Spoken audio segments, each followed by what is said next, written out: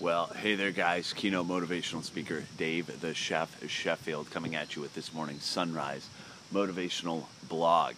Out here on my front patio, uh, just doing a little bit of meditating, uh, starting some yoga right now, and I wanted to talk to you about the importance of setting the foundation for an awesome day. Now, uh, if you have studied success at any level, every, uh, I guess, ridiculously successful person knows the importance of setting that foundation and creating a strong why uh, for their day. Too many people begin their day and check emails, check Facebook, check Twitter, which automatically plants a whole bunch of other people's agendas into their minds, puts them in instant reactionary mode for the rest of their day. You get done, you wonder, holy crap, man, you know, how come I feel like I work my tail off and I got nothing done?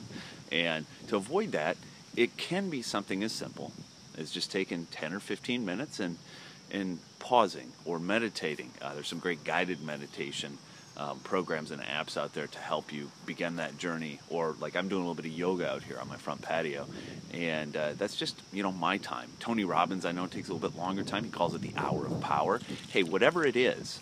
Uh, that you need to set a solid foundation for success, no matter how you may define success in your day, make sure you do it because tomorrow's going to come. You're still going to be one day older. You may as well be one step closer to where you want to be ultimately. Hey, looking forward to speaking at your next convention, event, or meeting. Always better your best. I'm going to go watch this sunrise. Take care.